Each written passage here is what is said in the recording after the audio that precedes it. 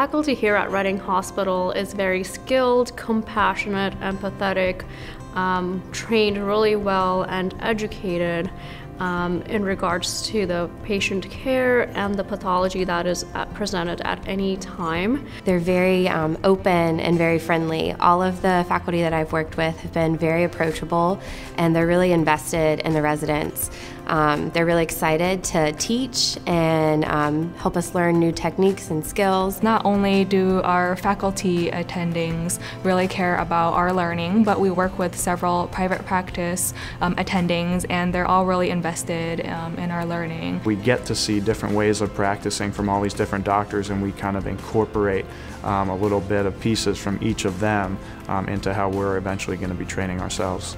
And there's always, always something to be learned um, whether it's a case you've done for the 20th time or something that you're learning um, and it's your first time that day. Um, they will walk you through it.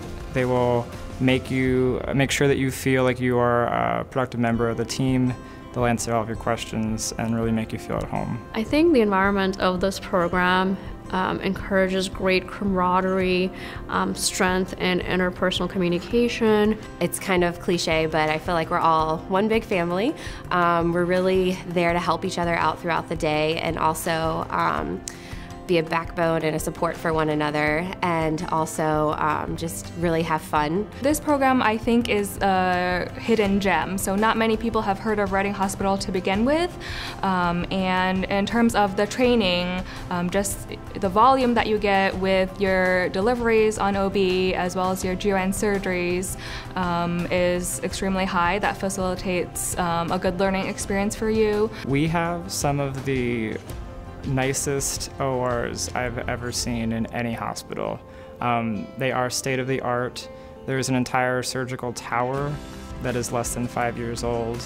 Um, and we're very spoiled with um, all the technology that we uh, get to use and are offered um, while operating. We have the, most, the state-of-art robot technology that we're doing surgery on every day um, that will prepare us for where those surgical procedures will move in the future. When you actually finish the program, you are very ready and eligible to be robot certified, which um, is a great advantage. You do not need a recertification process coming out we get experience in every single OBGYN subspecialty there is, whether it be maternal fetal medicine, gynecology, oncology, reproductive endocrinology and infertility, urogynecology.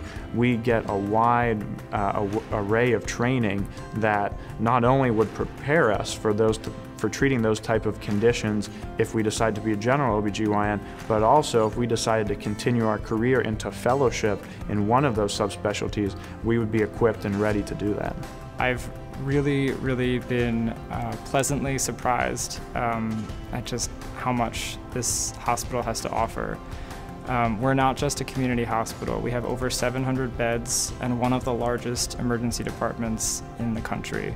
So we see a lot of patients. We see a lot of really sick patients. And because of that, um, we're exposed to some really interesting pathology um, and we, we come out of here really, really well-trained physicians. At the end of the day, when I come home, I know I've done the best I could to take care of a patient and I wouldn't have done it alone without the team that I had here.